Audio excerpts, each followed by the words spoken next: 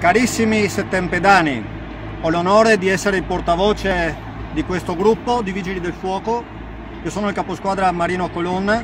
Volevo ringraziarvi perché in questa settimana che abbiamo passato con voi abbiamo percepito il rispetto e l'ammirazione che voi avete per noi.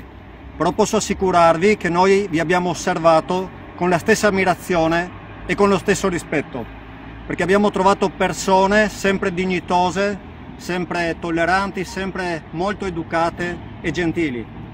Abbiamo visto che tante persone sono state sorprese da, questa, da questo dramma, in certi momenti nei quali erano magari già rimasti feriti da qualcos'altro, come molte volte, spesse volte succede.